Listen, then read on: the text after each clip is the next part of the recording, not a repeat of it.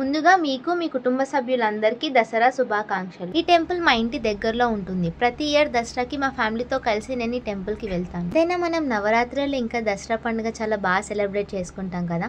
తొమ్మిది రోజులు దీక్షలు ఉపవాసాలు ఉండి బతుకమ్మ ఆడి అండ్ ఫైనల్గా రావణాసుని కాల్చి ఈ పండుగని ఫినిష్ చేసేస్తాం. నేను ఎప్పుడు ఈ టెంపుల్కి వెళ్ళినా మా సిస్టర్స్ తోటే వెళ్తాను. అండ్ మా సిస్టర్స్తో వెళ్తే నాకు అదొక హ్యాపీనెస్ ఉంటుంది. వెళ్ళడం మాత్రం మేము అందరం కలిసే వెళ్తాము. కానీ అక్కడ వెళ్ళిన తర్వాత వీళ్ళు ముగ్గురు మాత్రం సపరేట్ అయిపోతారు ఎక్కడికి వెళ్ళినా వీళ్ళు ముగ్గురే కలిసి ఉంటారు.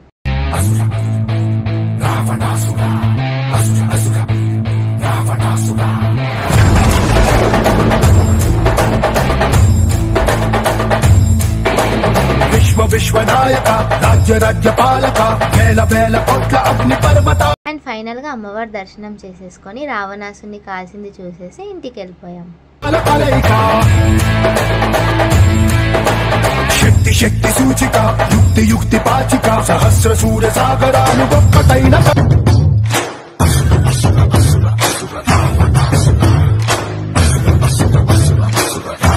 అండ్ మీరు కూడా ఈ దసరా పండుగను ఎలా సెలబ్రేట్ చేసుకున్నారో నాకు కమెంట్ చేయండి. And take care. Bye bye